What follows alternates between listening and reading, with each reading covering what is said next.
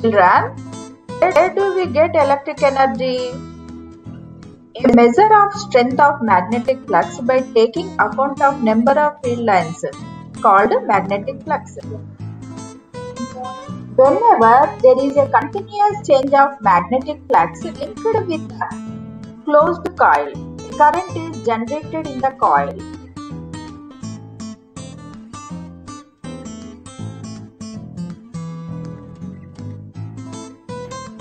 Current is generated is called induced current and is set up by an induced electromotive force EMF. This phenomena of getting induced current is called electromagnetic induction.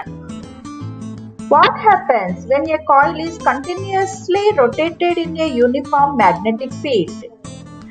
Does it does it helps us to generate electric current? What is this called? Look at look at the picture on the screen. Uh, this device is known as uh, generator. The function of the generator provide electricity. This device function in principle whenever change in magnetic flux link with the coil current generated.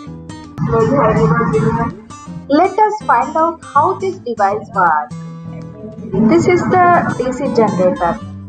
DC generator uh, is constructed to flow of uh, electricity in one particular direction. This is the AC generator.